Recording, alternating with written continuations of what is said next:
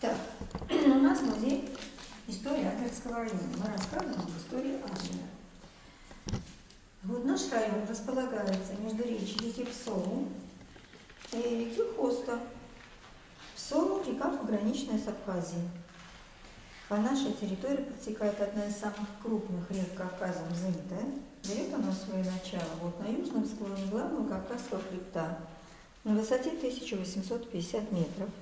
Начинается маленьким ручейком, впадает в горное озеро Кардевач, красивое очень озеро, и вот такое вот ущелье она пробила среди скал 90 километров, и в центре Адлера впадает в море. В переводе Зимта означает бешеная. Когда-то в глубокой древности она текла по вершинам и вот постепенно вымывала, вымывала русло. Ну, надо сказать, что горы Крыма и как наши Кавказа, очень молодые горы, появились только 8 тысяч лет тому назад. Только 13 миллионов лет тому назад это, они появились как острова.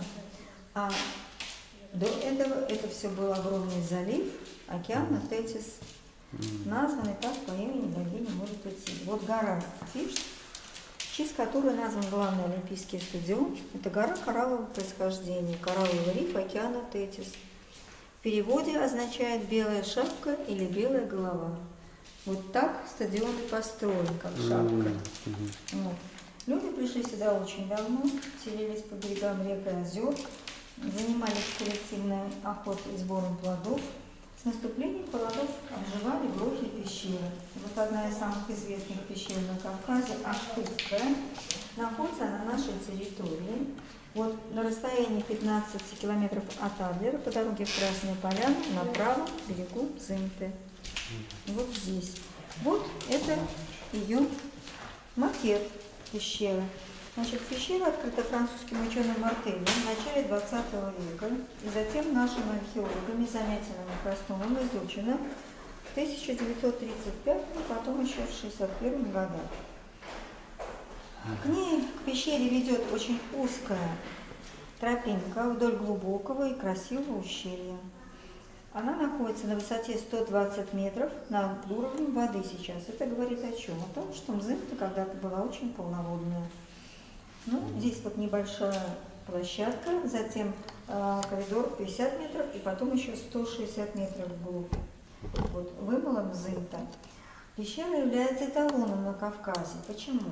Потому что в ней найден пятиметровый культурный слой. Что это такое? Это то, что наслаивалось веками. И вот изучая эти слои, археологи пришли к выводу, что 70 тысяч лет тому назад в пещере поселились вот такие вот неандертальцы. Вот. Затем 20 веков первобытные не жили, но жили вот такие вот пещерные медведи. Огромные, 900 килограмм весом. Огромные зубы, огромные когти, лохматые такие, но они были не агрессивные. Э, почему? Потому что был здесь богатый растительный животный мир. Они питались, как все медведи, растительной пищей, на животных практически не нападали. Но становились пищей для первобытных. Вот первобытные закалывали, закалывали колями, бревнами, дротиками, набрасывались на них целым племенем. И это была основная пища первобытных. Был такой зоолог Верещагин, он писал, что все европейское человечество выросло на сале, шкуре и мясе пещерного медведя. После пещерного медведя пещеру вырывали вот такие кроманьонцы. Это вот уже э, более похожи на людей, это считается как бы наши предки. Вот, посмотрите, вот зубы пещерного медведя. Но это даже не взрослого животного, а медвежонка, потому что э, вот они еще больше. Значит, вот мотышки каменные, каменные топорики. Это тоже было найдено в пещере. И еще это было найдено здесь э, есть село Нижняя Шиловка, и вот там э, под ледником было найдено несколько жилищ первобытного человека. Значит, как это было устроено? На южном склоне сухой балки были установлены вот так вот бревна, ну такие вот, вот так уложено. Все с, плетеными ветками закрыто. Там было несколько топчанов, они где-то 7 на 5, 7 э, на 10 метров размером. Вот, вот это было прообраз землянки, в общем-то. Вот смотрите, окаменелые моллюски, окаменелые ежи. Говорит о чем? О том, что здесь было дно океана все-таки. Все Сочи вообще расположено на древних террасах, на древних пляжах. Если в разрезе посмотреть, то это будет ракушечник. Mm-hmm. Вот. вот самая древняя терраса 250 э, тысяч лет и 35 э, метров высотой, это э, на ней находится Зимний театр, Курортный проспект mm-hmm. и парк Ривьера. А самая молодая терраса это вот Америтинская низменность. Mm-hmm. Вот. Ну, вот есть у нас еще такой экспонат, смотрите, кость динотерия, 8 килограмм весит. Ну, динотерий по-гречески в переводе означает удивительный зверь. Но его не очень будет он хорошо видно. Он похож и на мамонта, и на слона, но имеет свои особенности. У него бивни вниз. И жил он в то же время, и в то же время как ну, пропал. Значит, конечно, здесь до самого берега был густой лес и проплывающие корабли. Конечно, видели цветущий сад, и Черное море, оно, во-первых, не всегда было э, такого размера, такой формы, и называлось оно не всегда так. Оно называлось Карангатское, Сарматское, Пантексинское, и в глубокой древности русское, по нему и русские ладьи ходили. Вот. И многие, конечно, стремились на этот берег, но все-таки первыми э, его, э, этот берег колонизировали греки. Вот, смотрите, шестой век до нашей эры, здесь появились греческие колонии – Здесь обосновались купцы из греческого Милета. Милет – это город греческий. Вот. И они называли э, Черное море Понте-Эксинское, то есть гостеприимное. Вот смотрите, вот один пифос, вот второй пифос. Вот это для вина, это для зерна. Ну, вот они тут представлены как бы для перевозки на кораблях, видите, вставлены uh-huh, в отверстие. Uh-huh. Вот. А этот пифос был найден, выловлен рыбаками сети в море. Вот. После греков здесь какое-то время были римляне, но от римлян нет у нас ничего. А после римлян здесь э, господствовала довольно долго Византия. Но в нашем музее Византии тоже ничего нет, потому что мы сравнительно молодой музей. Вот э, в 1959 году, когда э, в парке Южной культуры строили водовод, отрыли византийский храм X века. Вот такая вот большая плита, огромная, квадратная, из этого храма находится в Сочинском музее. Нашего музея тогда не было. Затем, э, когда строили олимпийские объекты, то тоже нашли э, византийский храм, отрыли византийский храм X века, он был более богатый, захоронения там были. Угу. Вот все это время работали археологи, но все они, конечно, увезли это в Москву. Там сейчас все законсервировано, закрыто. Вот. Ну, пока никому ничего не дали. То есть ну и если посмотреть по Амзымте, там тоже есть развалины византийских храмов. То есть Византия здесь была. После Византии какое-то, когда она пала, здесь какое-то время господство Абхазское и э, Генуэзское царство. Но сюда все время стремились турки. И начало XVI века это место турки колонизируют. Значит, вот это берег, прибрежная полоса, горы, Ставропольский край, река Кубань. Вот до реки Кубани и Терека, вот эта вся территория была турецкая. По Кубани стояли казачья застава, это была граница с Россией. Ну, конечно, здесь находились различные племена горцев. И в различные времена различные, по-разному они называют. Здесь и были и гениохи, и сарматы, и зыхи, и тарма, э, как татар-монгол, в общем, разные. Но мы будем с вами говорить только о тех, кого, в общем-то, мы отсюда, так сказать, выглядели. Вот это Черноморское побережье. Вот это устье Мзымты. Здесь жили садзы, джигеты. По Мзымте жили медозюи, потому что Мзымта называлась имя Дзимта, имя Дзюмта, в разное время по-разному. А там, где сейчас Красная Поляна, жило зажиточное племя Ахчепсу. И поляна называлась поляна Гба-Аде. Значит, здесь шапсуги, убыхи, абадзехи, абадзины, различные племена. Но жили они все обособленно, языки у них, были, у них были разные, между собой они не дружили, отношения были средневековые, у них были свои князья, свои крестьяне, свои рабы, у каждого свое хозяйство, кто, кто выращивал просу, кто кукурузу, кто разводил овец, кто лошадей. В общем, хозяйство было свое обособленное. И отношения средневековые, то есть они воевали, воровали, грабили, убивали, процветала работорговля по всему побережью.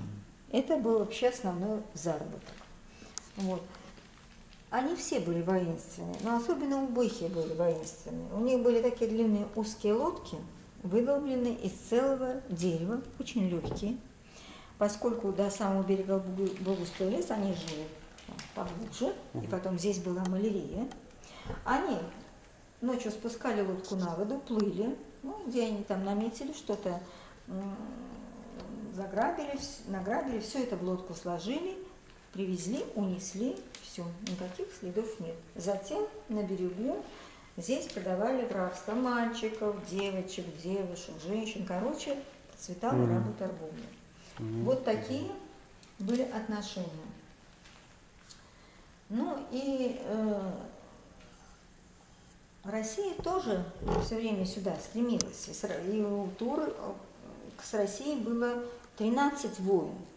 Но в основном всегда начинали турки, они получали, на какое-то время заключался мир, и потом все по новому начиналось.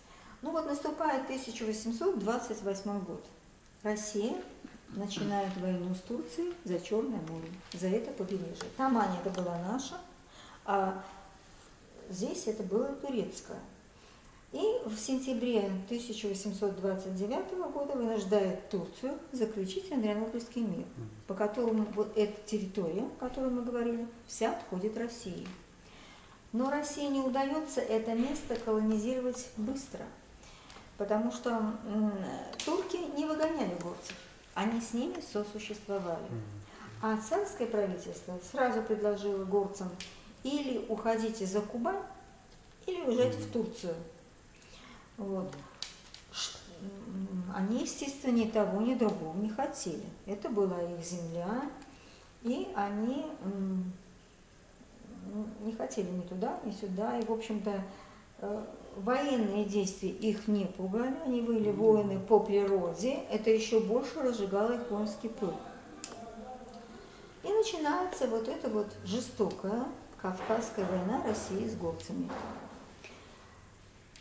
Ну и вот для того, чтобы как-то здесь закрепиться, было решено построить Черноморскую береговую линию. Начальником Черноморской береговой линии был назначен вот Николай Николаевич Раевский, младший сын знаменитого генерала, героя 1812 года. Вот он принимает решение на всех выходах в море построить гарнизоны с, крепостями, э, построить крепости с гарнизонами. И первую крепость было решено построить в Усимзымты. Почему? А, потому что в 1835 году сюда был послан разведчиком блестящий русский офицер Федор Федорович Тарнау.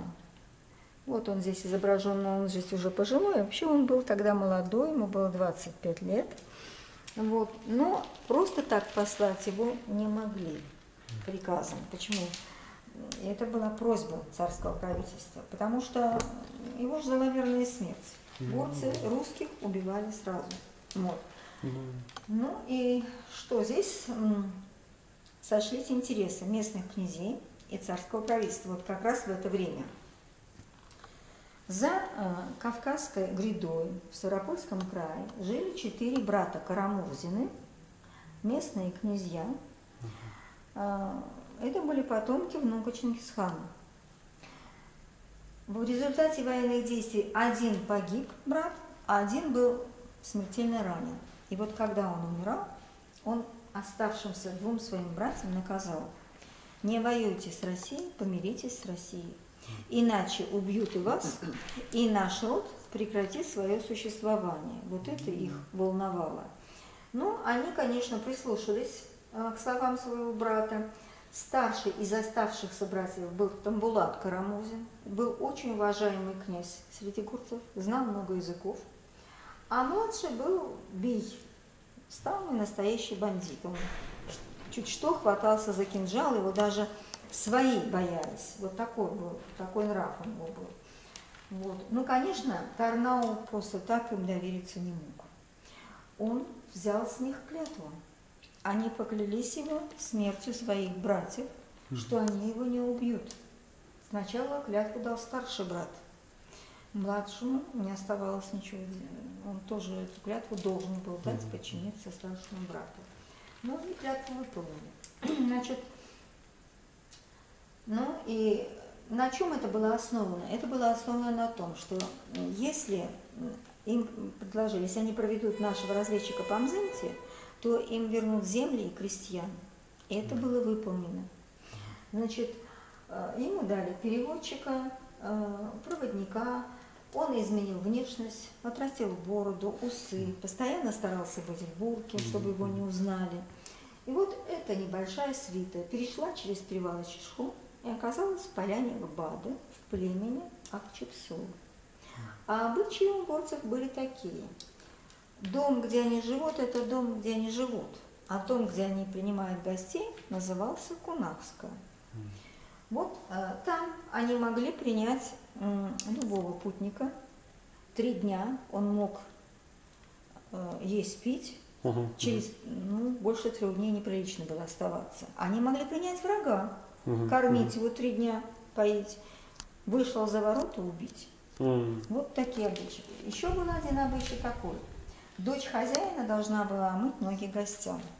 Вот когда они расселись вокруг э, костра, э, значит, вышла эта дочь, она была княжна, по-моему, князь. С ней вышла э, служанка с э, полотенцем, с тазиком, с кувшином воды. Вот. И когда костер бросили дрова, то девушку осветила княжну. Она, они были все поражены ее красотой. Вот.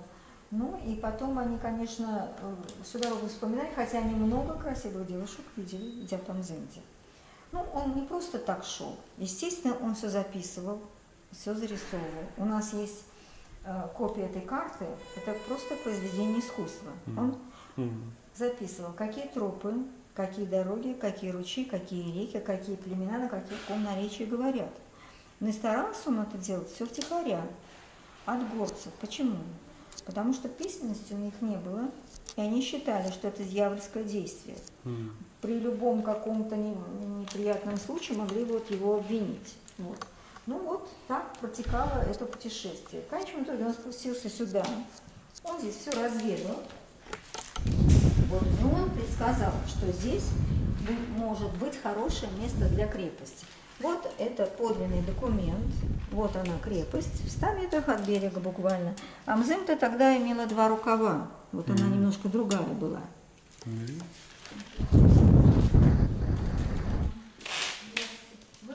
Было решено первую крепость построить в устье Мзымты, назначено это было на лето 1837 года. 3 июня 1837 года Э, десант готовился в Сухум Кале под руководством барона Розена и полковника Симбурского. Сухуми и Гагры – это были уже наши крепости. Кале – это крепость. Угу. Сухуми строили э, турки, но в результате войны они были захвачены нами. Вот. Значит, э, десант был посажен на суда Черноморского флота командующим был контр-адмирал Эсмонд. было 18 кораблей, 9 военных и 9 транспортных. Вот. И значит, э, они вышли 3 июня из Сухум-Кале и взяли курс на мыс Адлер.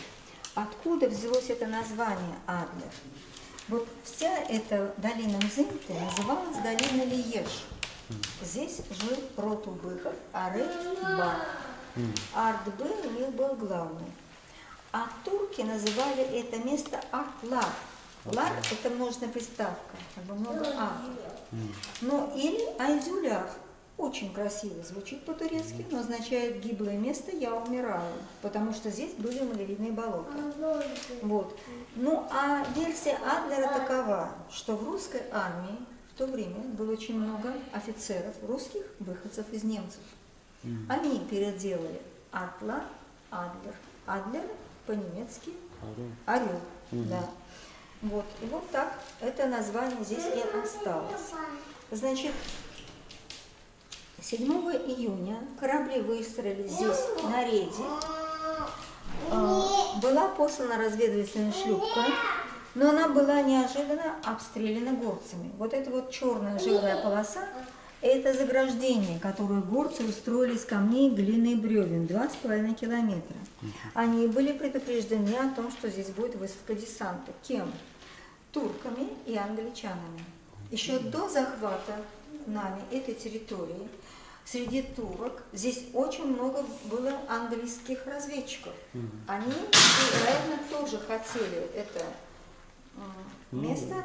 Они здесь очень плотно работали, но Россия вот их опередила. И тогда они, находясь среди горцев, и турки-англичане, активно помогали горцам в борьбе с Россией.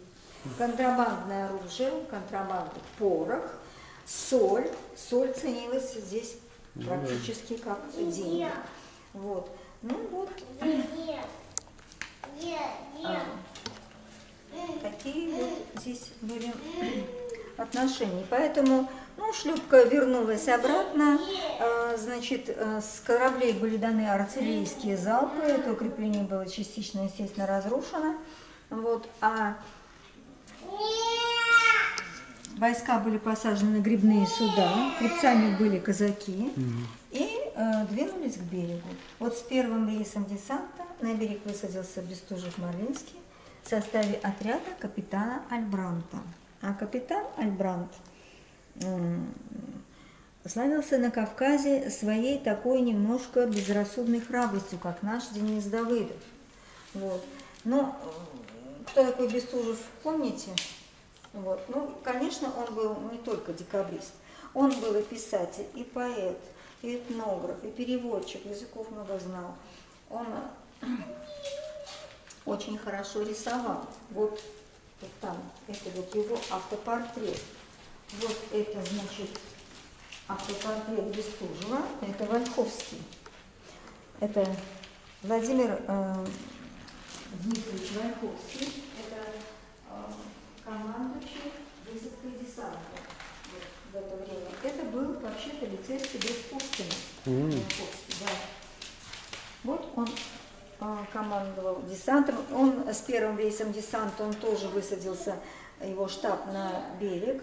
Ну и вот это укрепление а, горцев, оно одним э, концом упиралось в густой лес. Вот Тарнау в своем отчете писал, что нельзя с горцами воевать в лесу, с ними надо воевать на открытой местности. Они в лесу у себя дома. Вот. Ну вот тут он не участвовал в высадке десанта, я вам скажу почему, и э, не, ну, не прислушались к этому. Вот э, горцы воспользовались густым лесом, напали на штаб, Тогда Альбранд со своим отрядом вызвался отбить эту атаку. Ну, в общем, он углубился в лес, дошел до плетня, услышал лай собак и понял, что они дошли до аула. И он Бестужева с двумя солдатами посылает на берег к Вольховскому получить дальнейшие приказания. Приказание, естественно, получает отступать. И когда Бестужев углубляется в лес, э, попадает в засаду черкесов. Его ранят в голову и в ногу. И солдаты захотели его поднять, но набежали черкесы и зарубили всех шашками. То есть интрига в том, что э, тело Бестужева так и не было найдено. Через два дня на убитом Убывском муле нашли его перстень, у него был особый перстень, отцовский, и пистолет. Опять стали искать, но так и не нашли. То есть по этому поводу было очень много разных легенд. Высадился второй из десанта, место было захвачено, был разбит вот такой вот лагерь. И 18 июня была заложена крепость. Это был сначала земляной вал Сорвун, затем с Керчи привезли ракушечник белый. У нас ну, есть эти глыбы, мы просто их выставили. Mm -hmm. И вот была построена вот такая вот белокаменная крепость, такой пентагон. Пять бастионов, каждый бастион на 25 метров выступал. В каждом бастионе было по три крепостные пушки. Вот, и э, она была небольшая, всего 100 метров в диаметре. Э, вокруг на 100 метров было все вырублено, крепость была неприступная. Вот. И э, ночью охранялась э, собаками сторожевыми, привезенными с Гагры, натасканные на запах черкеса. А черкесы пахли кожей. Вот они сшили сапожки, чуть-чуть меньше, мокрыми их натерли внутри мылом, одели на ноги, и они у них высыхали на ноге и никогда не скрипели. А потом тонкую подошву пришивали, все. И обмундирование точно так же на них все было устроено. Они все были на обвешены, но он никогда не бряцало, не звенело, не гремело, то есть вот они как пушки ходили. Ну и еще, а, в общем-то, было, наверное, причина того, что крепость ни разу не была взята горцами. Комендантом крепости был Соломон Бамба. Это был русский офицер абхазского происхождения. Когда шла война, сюда приезжали военачальники, останавливались, естественно, у местных князей. Вот они обратили внимание на вот сына этого князя. Он был очень смышленый. Они его забрали в Санкт-Петербург, 15-летним, определили в полк. Он получил блестящее светское и военное образование, говорил на многих языках, и вот он был комендантом крепости. Он вообще много хорошего сделал на Кавказе. Вот. Ну и по предложению Раевского крепость была названа крепостью Святого Духа. Mm. Вот. Раевский предложил, царь своим указом утвердил. Значит, почему? Потому что 18 июня это был по священному писанию в тот год день Святого Духа. Он mm. этот день переходящий, как Пасха. Вот. Ну и вот так э, крепость была названа крепостью Святого Духа. Значит, э, служить было очень тяжело. Во-первых, набеги во-вторых, малярия косила солдат. Ну и затем через полгода было построено Александрийское укрепление, и потом оно называлось Новогинское. Вот это Сочи и так далее. До Анапы было построено 17 крепостей. Но э, война шла очень жестокая, такие крепости, как Головинская и Лазаревская, э, вырезались горцами полностью. Весь гарнизон вырезался. Такая очень жестокая служба здесь была. Но, тем не менее, наступает 1753 год, Крымская война. Все крепости были взорваны, гарнизоны введены в Севастополь. Значит, ну, по окончании войны не очень удачно была для нас, но тем не менее, 1860 год. Князь Горятинский, командующий войсками, уходит в отставку, командование принимает великий князь Михаил Николаевич, брат царя. Он решает принять более действенные меры для захвата этой территории. Четырьмя отрядами сойтись в к Баде. Ну, вот один отряд вот так идет вот по берегу, вот один отряд, вот два отряда вот так вот шли, а один отряд перешел через перевал Чешхо из э, Ставропольского края оказался в поляне Гбада.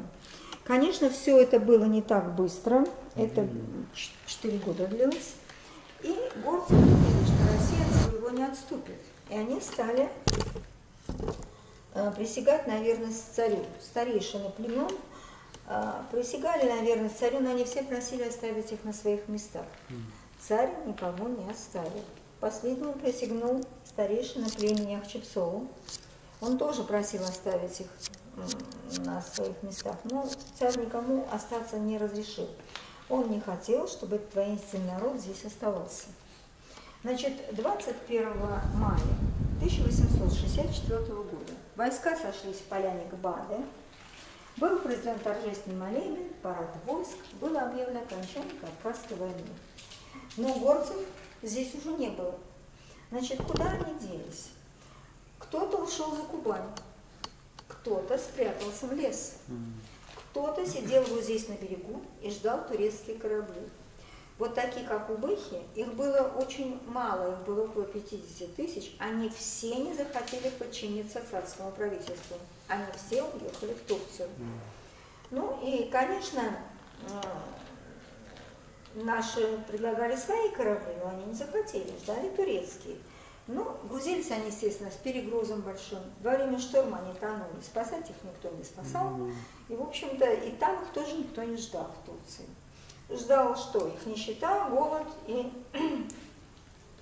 резервации, и как мы это сейчас видим, только наоборот, сюда, в Европу бегут. Вот. Ну, вот убыхи как народность, они исчезли. Ну, они, конечно, здесь есть. Вот э, в сторону Лазаревки там есть убыхи. Ну, Значит, э, надо сказать, что князья, у которых были деньги, они все-таки выжили.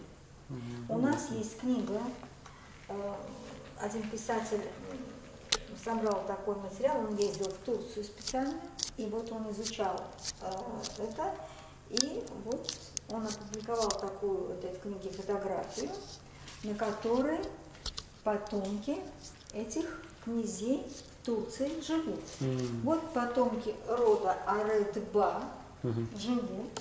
Mm-hmm. Был такой род Гечба, был такой род, тоже живут. Они там на фотографии изображены своими mm. свидетельствами, там князь, княгиня, кто-то. Вот. То есть в Турции, вероятнее всего, у кого были деньги, князья выжили. Ну, все-таки да, я вам обещала вот что рассказать. Значит, Тарнау не участвовал в высадке десанта. Почему?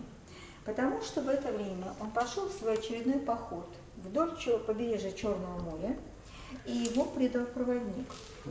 Значит, он его посадил на цепь, и э, что он хотел? Он хотел выкуп золотом за голову русского офицера, естественно. Вот. Ну, не то, чтобы царское правительство не хотело платить, но никак вот они не могли вот встретиться, договориться и все прочее.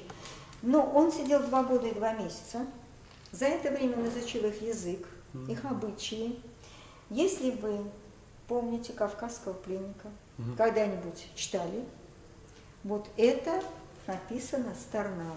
Доподлинно. Он написал книгу, а Толстой все это переложил в литературную форму. Значит, Два года и два месяца он сидел, он все время говорил, что я сбегу, и он два раза пытался бежать, но неудачно.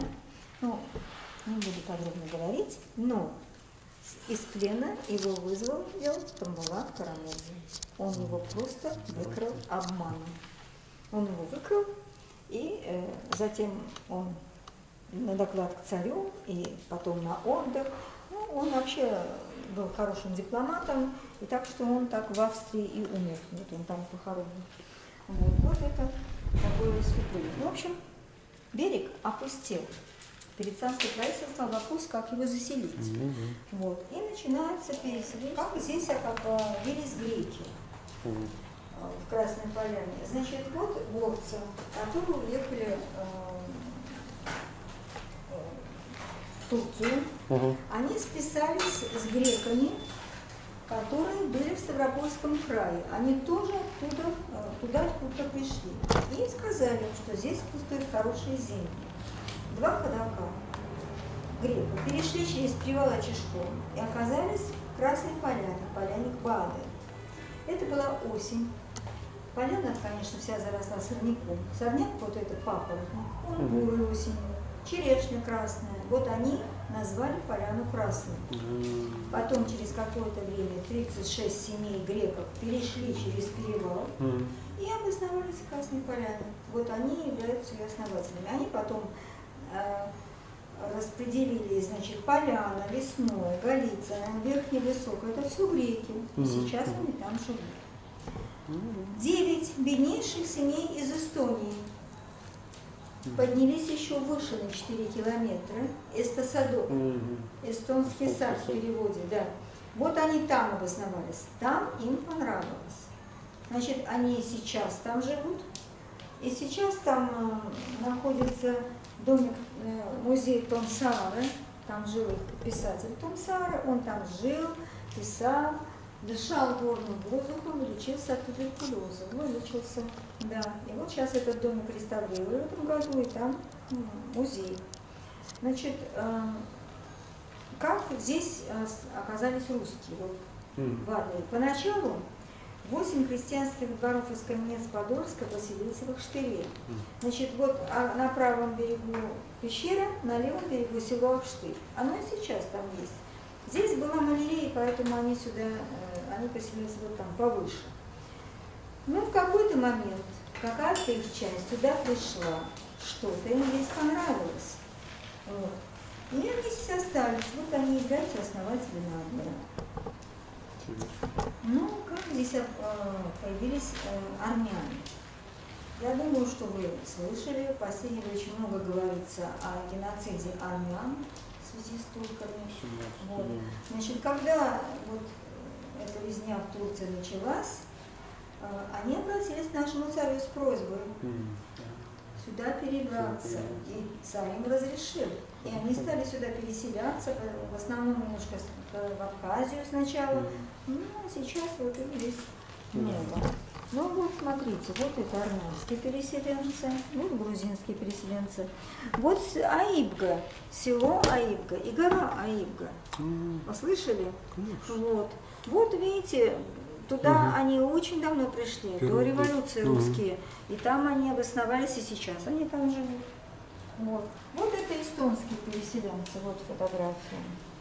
Вот. Вот. Ну вот здесь э, казакам разрешили здесь остаться, но казаки здесь не прижились. Им здесь э, ну, степь нужна. Да. Вот. Ну и что? 1868 год. Сюда приезжает а, Ермолов, это министр земледелия государственных имуществ. Он, когда здесь побывал, вот он первый и подсказал, что здесь может быть курорт. Через год Сюда приезжает Николай Абаза. Абаза – это фамилия такая молдавская. Был такой чин при дворе, гофмейстер и надзиратель над Кавказом. Он побывал, конечно, в Сочи, в Адлере. Когда он побывал в Красной Поляне, когда он видел всю эту красоту, начинают строить дорогу на Красную Поляну. Вот это как раз начало этой дороги старой. Значит, дорога строилась два года. А, с помощью кирки, лопаты и лома строили греки и турки, ну, иногда взрывали. Вот.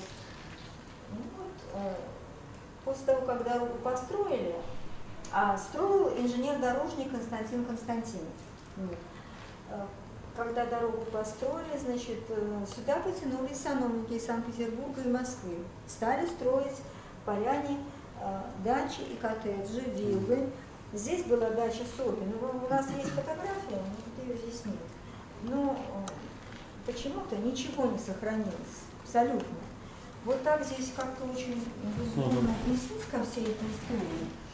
Вот. вот сохранился вот этот дом, единственный дом. Значит, это построил брат композитора Модест Чайковский. Он был врач. Он построил вот этот специально дом с двумя верандами, двухэтажными двумя верандами, чтобы люди сидели на верандах, mm. дышали горным воздухом и лечились от туберкулеза. Да. Вот этот дом сейчас э, цел, и в нем живут люди. И вот царский домик, э, охотничий домик, э, он сейчас целый, ну, построили для, для царской охоты, но царь здесь так на охоте ни разу не был. Вот. Ну, mm-hmm. значит, адлерцы на пожертвование построена церковь. 1898 год. Назвали церковью Святого Духа в честь крепости mm-hmm. Святого Духа.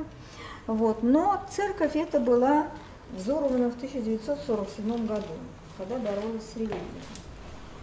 Вот сейчас примерно на том месте построена Свято-Троицкая церковь. А, значит, ровно через сто лет, 1998 год. Mm. Она является одной из красивейших церквей на Черноморском побережье. И рядом с ней построена воскресная школа. И вот когда строили эту воскресную школу, фундамент, когда рыли, отрыли вот эти вот глыбы, из которых была сложена крепость, и отрыли две крепостные пушки. Вот одна пушка находится в сквере Бестужева, а, а одна вот находится это. в Сочинском музее.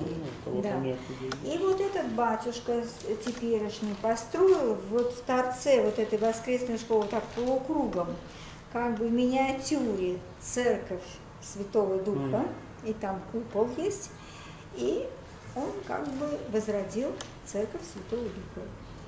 День Святого Духа, каждый год он там проводит службу. Mm-hmm. Да, вот здесь тоже эта фотография. Ну, вот да, вот она. Ну и здесь еще одна достопримечательность есть. Вот это могила э, русских солдат. Значит, откуда она взялась? Это 1877-78 год. Турки не могут успокоиться, бросают сюда десант. И вот одним снарядом убивает 11 русских солдат. Значит, вот им, их похоронили, написали 11 нижних чинов, то, что имен солдат тогда не писали. Вот. Но сейчас эта могила находится на территории церкви. Но надо сказать, что могилы там нет. Там только памятник сам. Потому что Адлер застраивался очень хаотично, и могила осталась где-то под дорогой. Да, там, значит, сейчас вот этот памятник стоит, и в 2012 году вот этот батюшка, наш музей и вот некоторые частные лица обратились в архив, и нам все-таки нашли имена этих 11 солдат. И сзади стоит мраморная плита, сзади этого памятника, и там все эти 11 имен есть. Вот. Если вы пойдете от этого памятника, э, ну, вы представляете, да, да, да МТС, да, значит, э, Аллея Славы, там все наши восемь героев Советского угу. Союза, вот, и так между заповедником пройти, там будет сквер Бестужев. Да. Ну, знаете где, да? Ну вот. Ну вот, э, такова наша история.